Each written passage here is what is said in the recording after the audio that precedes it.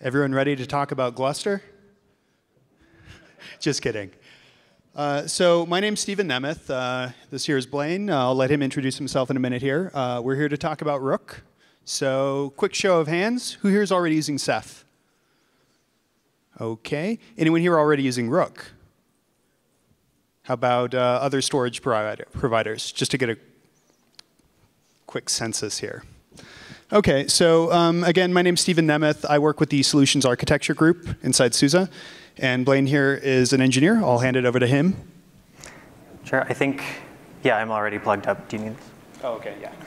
Uh, yeah, I work for SUSE's uh, enterprise storage product uh, group that is Ceph-based, and I work specifically with the containerization, uh, which means lots of Rook for me. Uh, also, this is my first conference talk, so bear with you know any hiccups that I have here at the beginning. Uh, also, I am uh, one of the Ceph or one of the Ceph maintainers in the Rook project upstream. Uh, so I suppose I'll just keep going here. Um,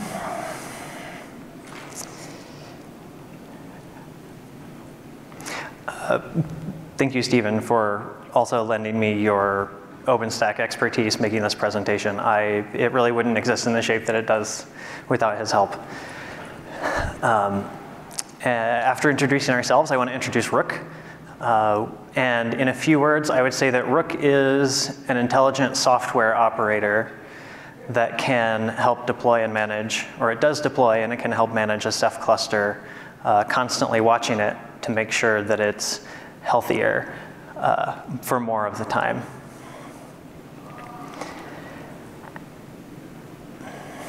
Uh, Rook is a member or is sponsored by the Cloud Native Com Computing Foundation, which is the Kubernetes community's uh, large OpenStack or large foundation. Uh, and it's uh, the Ceph community's official solution for containerizing Ceph on Kubernetes, and it's a large part of uh, of the focus uh, of Ceph currently. So when preparing to give this presentation, I was actually looking up some figures to get an idea for uh, like how, how big is Ceph in the OpenStack community and learned from the 2018 surveys that 61% of uh, OpenStack deployments use Ceph. And uh, the next largest is KVM with 15%. Uh, so that's, that was kind of nuts to me. Ultimately, uh, we, you know, most of us run Ceph, and Ceph unfortunately has a reputation for being hard to administrate. And I've kind of equated this to uh, playing chess. It's difficult, but you can learn it with lots of practice. There are probably some people who enjoy it. Uh, the bottom line is that system administrators spend a lot of time trying to keep Ceph healthy. Uh, and that's a lot of time that could be spent working on other applications or time that could be spent not working when they're on call. Uh, a friend of mine told me one time that time is our most precious resource and it's the only thing we can't buy more of. In 2015, along came this thing called Kubernetes. And Kubernetes' orchestration and self-healing capabilities promise to make orchestrating anything uh, easy. And so we have the question, what if, what if we could have Kubernetes run Ceph for us? What if administrators could play checkers and then Kubernetes would play the chess in the background? And so AT&T uh, started the OpenStack Helm project. Uh, at least that's my understanding of it. And that was the first major uh, the first large solution for orchestrating Ceph, amongst other things, on Kubernetes. So I, I, guess as a show of hands, how many people here are using the, the Helm charts for deploying Ceph as part of their clusters? Okay, actually not, not a lot. So is would you say that you, for those of you not using the Helm charts, is that because they're difficult, or I mean, I guess, like, is it because it's difficult? Uh, anyway, Ceph, Ceph's gotten to the point where it's very stable uh, functionally. Uh, new features are, are, still coming in, but they're stable. And the Ceph community is beginning to focus a lot more on the usability of Ceph. Uh, and Rook is a, a huge part of that focus and that effort. With Rook, instead even of checkers, we want administrators to be able to play tic-tac-toe and have Kubernetes still play the checkers in the background. And I think that Rook is and can, can be more in the future something great for the OpenStack community. Before I get too far from the topic of, open, of the Helm charts, uh, when, when the Ceph community first started looking for uh, an official containerization solution for Kubernetes, this was one of the first stops. And what we found was that these Helm charts are very complex, which I'm sure is a big shock to all of you. There's lots of conditional templating, uh, and uh, especially the conditional bash templating was uh, not, not so much fun, in a few words. Uh, additionally, Helm and its server component tiller, they aren't, uh, they aren't particularly transparent uh, and amount to what is effectively a templating engine. And it, it's just really hard to debug through that. And from a developer standpoint, it kind of feels like a Rube Goldberg machine made from parts on hand. And uh, that, that was making development difficult for any sort of substantial features. And uh, that was making our development slow. And when development's slow, um, we're, we're, we're using up that precious resource that we have, time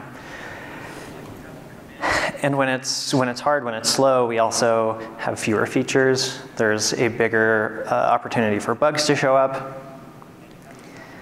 And the, the kind of bottom line is that I think Helm is a tool that isn't really designed for or prepared for running an application that is as stateful uh, and complex as Ceph is. And uh, having said this, uh, I actually want to say that the Helm charts are actually very uh, impressive. Like I looked through them recently and was, uh, for, for what they have to do and for the tools that they have to work with, uh, it's, it's a very nice looking code base. Uh, but I think we can do better. Uh, starting with, uh, with Rook, we have a Ceph operator that's a single application. There's no longer Helm or Tiller. Um, it's simpler to run, to debug, to develop. And we spend a lot of time in Rook still trying to make it more and more simple, uh, trying to reclaim for ourselves and for our users more time in the future. And we're always looking for community feedback uh, and trying to listen for how we can do that better. And I have a demo that I'm going to show you uh, for uh, just to kind of show how, how easy Rook is to start getting work, start working with. Uh, and before we go too much further, I want to uh, start with what, what are we actually creating here? Uh, firstly, we have our OpenStack cluster, which is uh, just a node that's set up by DevStack uh, for this demo. We have a five node Kubernetes cluster. And uh, within that cluster, we are going to run Rook, which will be a single application and Rook will, once we've defined what our Ceph cluster looks like, run Ceph across all of the nodes. Those nodes each have four extra disks added, and so once we get to once we get to the end, we should have 20 Ceph OSDs. And additionally, you, because this is Kubernetes, you can run your user applications on these same nodes. And if we pull in OpenStack into this Kubernetes cluster as well, as well, we would have a fully hyperconverged environment. And that's pretty neat. Uh, also, you can find uh, the, the files, the configuration files, and uh, simple README for how, how to get started with this if you want to do it yourself. Um, but let's, let's talk about installing Rook now. So we have Kubernetes set up. Uh, now we need to define some YAML files for, for what Rook looks like. And there are five basic components that I would break it down into. There are basic definitions, being sort of role-based authentication uh, that Rook needs to actually run and have permissions. Those are things that we don't want to have Rook do itself because then it would have more privileges than it needs to. There's also the Ceph operator itself, uh, and when I when I say operator, this is you know the coin the coin the term coined by uh, CoreOS for the pattern Rook uses of administrating something for, uh, using an application running in Kubernetes. And the operator is what controls Ceph effectively. Uh, there's the definition of what the cluster is and looks like. And then there are also uh, block object file storage definitions for uh, you know, what block storage, what file storage or object storage do you want to create in the cluster to be able to use. And we're primarily in, uh, interested in block for this demo. And there's also a toolbox, which is uh, what you would uh, exec into in Kubernetes to actually talk to your Ceph cluster to use the Ceph command line utilities. Uh, very briefly, I won't go into detail. We have a basic Ceph cluster definition. Uh, this is the one that we use for the demo, and this is one that would be sufficient for running in an organization. Uh, it's only 18 lines of YAML. Uh, some of that just nested things. So let's, uh, let's fire it up and I'll kind of talk through those, uh, uh, the things as they're being created. So first of off, first off, we don't have anything running currently. And here are the YAML files that we have to work with for the demo. We're going to create those common base resources and the operator itself, which constitutes quite a few things.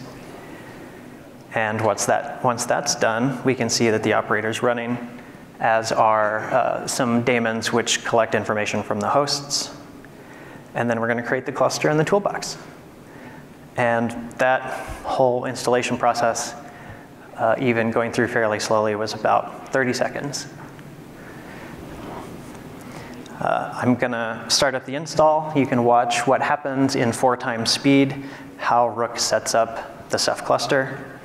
Uh, I'm going to kind of continue on uh, with, uh, you know, I don't know about all of you, but this, this process is a lot easier than any other Ceph orchestration that I have seen uh, and experienced firsthand. And something that we're not demoing here is that Rook is capable easily of deploying single node clusters, and that's something that is often kind of reserved for development or uh, sort of POC environments. And so all of, all of the simplicity of this setup, uh, Rook setting it up automatically, uh, the single node support, uh, this is all really important for making Ceph accessible to a, a, wider audience of people without all of the technical knowledge that a lot of us here have, whether that's a cash-strapped startup or a university. Uh, there are lots of organizations that are asking for this and have been for a while.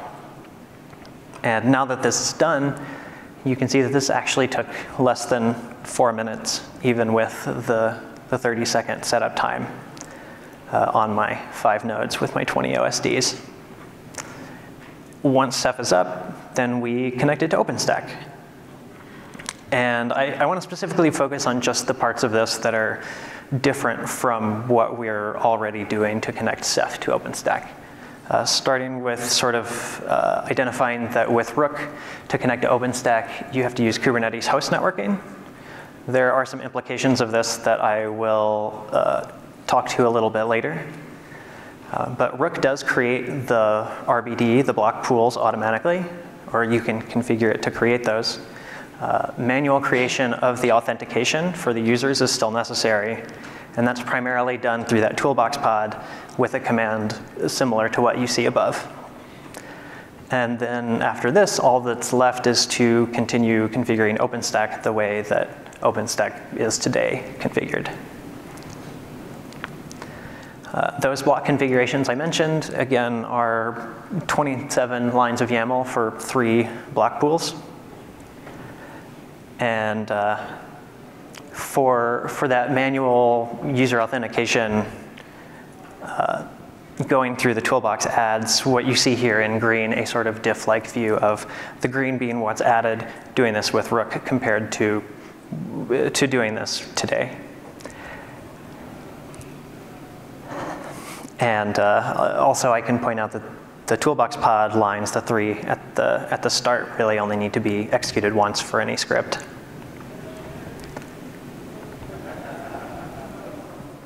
What else can Rook do? Uh, monitor failover is not terribly complicated. It can do that. Uh, it can do some simple OSD recovery, and this is also an area where we want to see more improvements in the future. Uh, Rook can roll out updates to itself, uh, which involves updating not just the Rook application, but some of the Ceph components as well to make sure that they follow the latest uh, security uh, things that Rook sets up. It can also roll out updates to Ceph, including updates from, say, the Mimic version of Ceph to the latest Nautilus version, automatically without the user having to touch anything other than to tell the update to start. Nothing in life is perfect. Uh, everything, everything can be better. Uh, what, can, what can Rook, uh, what can the Rook community and the Ceph community and OpenStack community do to continue to improve the Rook experience with OpenStack? Uh, firstly, you know, always more, more, more features in Rook. Uh, I also mentioned talking about implications of host networking. Uh, that comes with some security, uh, security concerns. Uh, and so being able to harden the host, uh, harden the networking so that we can still use that host networking for speed and use something like Multus in Kubernetes or eBPF IPVS to also prevent us from experiencing slowdowns while doing that. Also fuller automated OSD recovery in Rook. You know, what we all want to get to is that, you know, pie in the sky of OSDs automatically recovering. Uh, and when they can't, having a very well-defined workflow where the application will guide you through uh, replacing an OSD easily.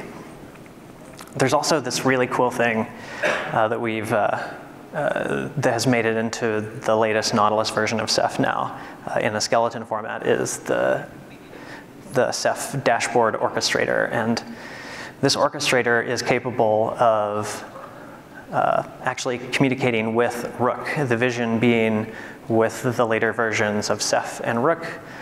From the Ceph dashboard, we can have a one-stop shop for managing Ceph, even the deployment of Ceph, and it will just call out to Rook to do things. And then all of, most of the YAML that you see goes away. There are also things like integrating Rook into Airship, uh, or things like Airship, uh, maybe the Helm charts, and also giving OpenStack the concept of Kubernetes persistent volume claims so that uh, if it can use persistent volume claims, it doesn't actually have to even know that a Ceph cluster is running. It just has to know that it needs block storage. So whether you're just interested in giving Rook a try, you want to run it in your organization, or you want to get involved, I want to leave with a little bit more information about how, how to contact, uh, how, how to get involved, with, how to contact Rook, sorry. Slack and GitHub, I would say, are the best places to start. You can at me if you like. Uh, anyone there is very willing to answer questions and welcome new people into the community. Uh, there's also the Rook website. Uh, a new version is dropping tomorrow, uh, along with the 1.0 version of Rook, uh, which is uh, what was running in the demo here. Rook has a biweekly community meeting. If you have any any concerns for Rook, any issues you want to bring up, uh, or just want to learn more about what Rook is, is doing, uh, you can go to our community meetings. More information is there on the GitHub README. Uh, and again, if you're looking for the presentation files, uh, you can go to uh, my own repo. I have a presentations there. I, uh, I hope to hear about your experiences with Rook, whether uh, upstream or down, and uh, let's go reclaim some time together.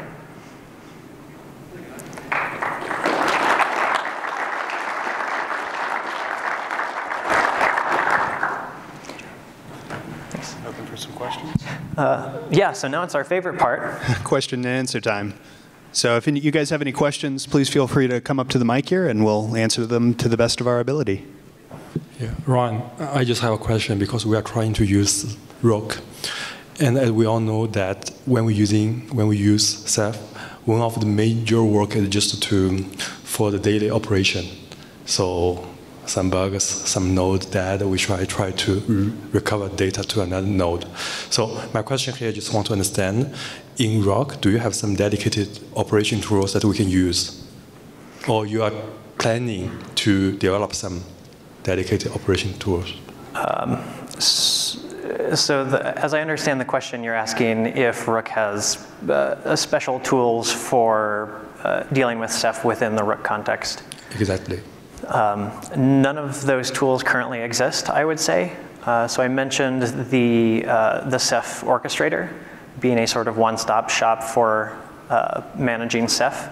That is the sort of vision of tooling, I would say, and that would be um, also a CLI component would be a part of that. It wouldn't just be a dashboard. So I, I would say that that is probably the closest uh, to an answer for your particular question. We don't, we don't have special Rook tools or Rook CLI or anything. Okay. Uh, second question is an, an, open question here. So I'm now using uh, Rook, and I, I, like to convince my colleagues to use Rook instead of using the standard Ceph that we use now. So how I can convince my colleagues in this case? Right. So um, earlier I'd asked how many of you guys had to use Ceph. How many of you have containerized Ceph yourself? Anyone? Anyone? Did anyone have any pain points when, like, say, an OSD comes down and you need to recover it? It's a pretty painful experience potentially. Um, you know, zapping the drive, bringing back into the cluster, something like that. So. Um, the entire idea is to have, you know, a standard template or a standard image that you can go ahead and deploy and have it place OSDs consistently. And that's exactly what the operator does in the context of Rook. So rather than have to manually uh, decommission the drive, bring it back up, and then uh, add it as a new OSD, hopefully you can just use YAML and let Kubernetes do a large portion of that for you. If you're containerizing it yourself, there's a number of things you have to go ahead and track specifically at the OSD level. So uh, just look at the pain points there, and it should sell itself. Yeah, I think to add on to that, I think the magic is kind of right here. We've just told Rook, use all my nodes and use all the devices with, with the sort of subtext here that it won't use your boot device or any devices that are already in use. A good presentation. Thank you very much. Um, are there any plans for Rook to be able to take over operations of an existing Ceph cluster running in Kubernetes, like as may have been deployed by the Helm charts? Yes, eventually, is, is sort of the answer. Um, I think we're, the, the first kind of step in that direction has already started to happen, which is having Rook be able to create, uh, like Rados gateways, for instance, for a cluster that already exists. Cool, thank you.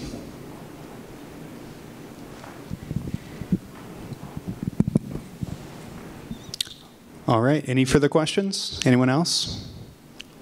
Uh, which algorithm that uh, Ceph, Rook Ceph uses? Because Ceph has different algorithms, right?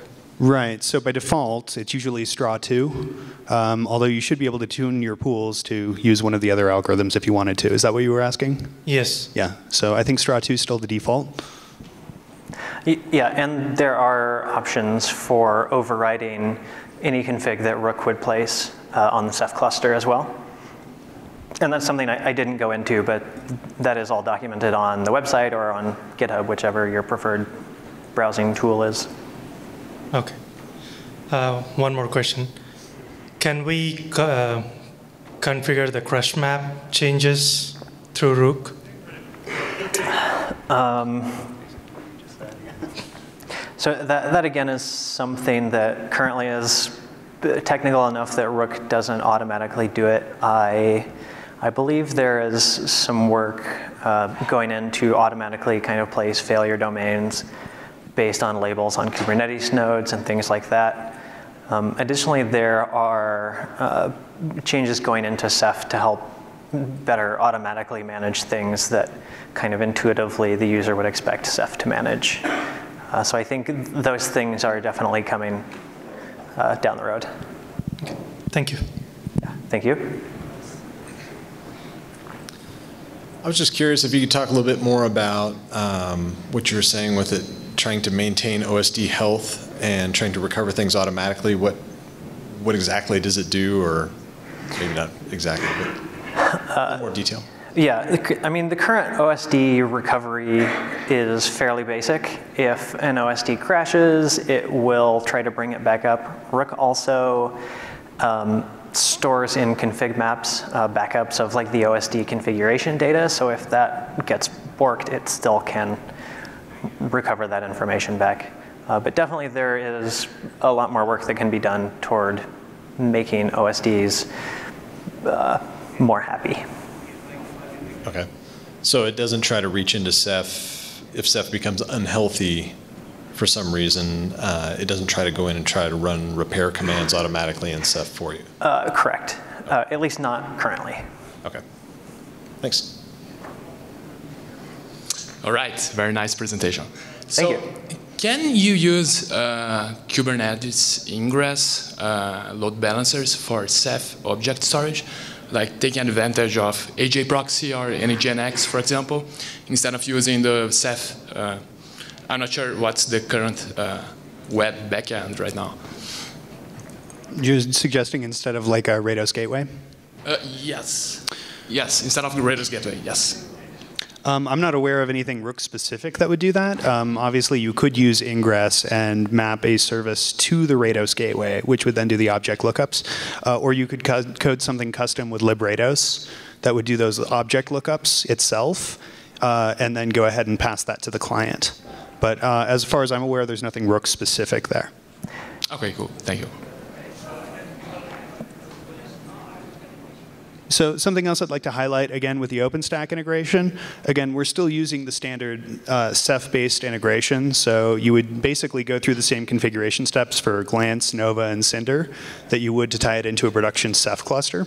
Again, the entire purpose of Rook there in the context of OpenStack is to manage the deployment and make it easy to operate. So. I'm leaping all the way from bare metal OSDs. Have you got any sense of performance differences to containerizing the OSDs? Uh, I would say the performance differences don't necessarily come from the containerization, but from the software network that Kubernetes has. Uh, so um, Ceph is something that is often network bound, and so regardless of whether it's IP tables on a node or it's Kubernetes, uh, you can see a reduction I, I think down to like 40% of bare metal performance. The host networking is uh, intended to alleviate that. Uh, that obviously comes with the security implications. Uh, being able to use Multus and use IPVS, uh, e eBPF uh, to, uh, to make IP tables not so expensive are things in the future that can sp specifically be used to try to combat that issue. Okay, thanks.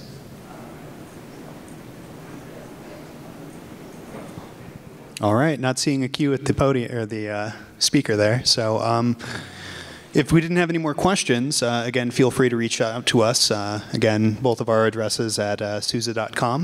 Um, I guess we'll yield back some time here for you guys. Thanks a lot.